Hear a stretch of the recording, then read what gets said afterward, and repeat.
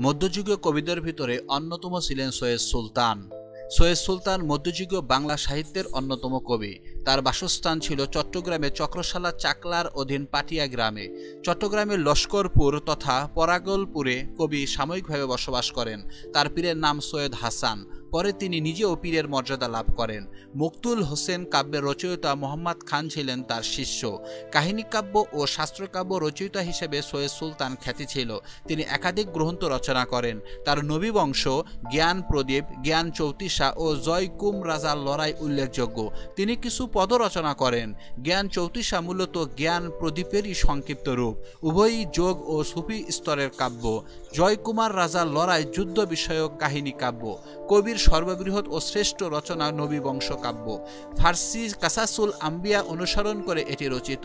এতে সৃষ্টির সূচনা থেকে হরদত মোহাম্মদ সাল্লাহ সাল্লাম পর্যন্ত সকল নবী রাসুলের কর্ম ও ধর্মজীবনের বিস্তৃতি বর্ণনা আছে। এছাড়াও বিভিন্ন পৌরাণিক দেবদেবীর নবীদের ধারাভুক্ত করা হয়েছে। তবে ইসলামের গৌরব ও মাহাত্ম প্রতিষ্ঠা ও প্রচারেই এতে প্রাধান্য পেয়েছে। বিষয় বৈচিত্র্য ও বিশালতার বিচারে নবীবংশ মহাকাব্যের সমতুল্য।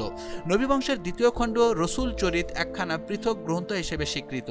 কাব্যের শুরুতে আছে সৃষ্টিতত্ত্বের কথা। পরে আবদুল্লাহর জন্ম, পরিণয়, আমিনার গর্ভধারণ, আবু জেহেল কর্তৃক তার গর্ভপাতের চেষ্টা হরদত মোহাম্মদ সাল্লামের জন্ম এবং পরের জীবনাবলী ঘটনা বর্ণিত হয়েছে।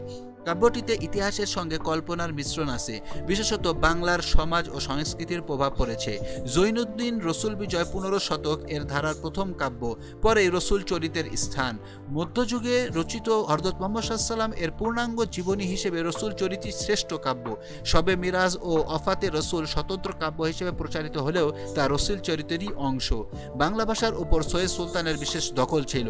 তিনি সফিতত্ত্ব ও ইসলামের ঐতিহ্যের অনেক দুরূহ বিষয় সহজবদ্ধভাবে প্রকাশ করতে সক্ষম হন।